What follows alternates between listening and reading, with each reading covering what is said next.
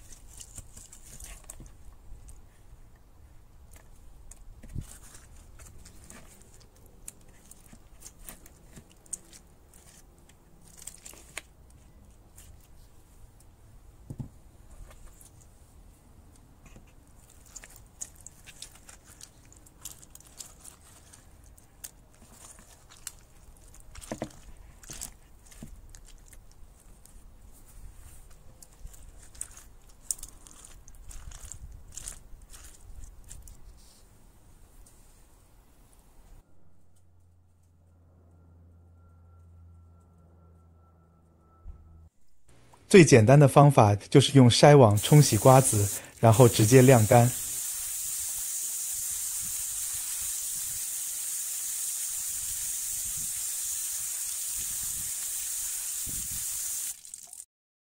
刮下来的瓜瓤和种子，也可以密封储存两三天，让其自然的发酵，这样得到的种子质量会更好。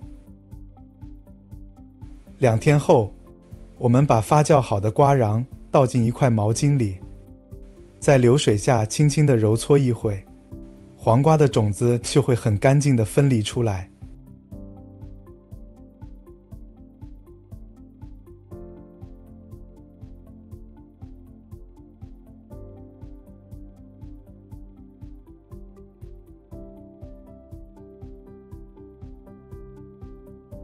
晾晒数日。直到黄瓜种子完全干透，就可以收藏起来了。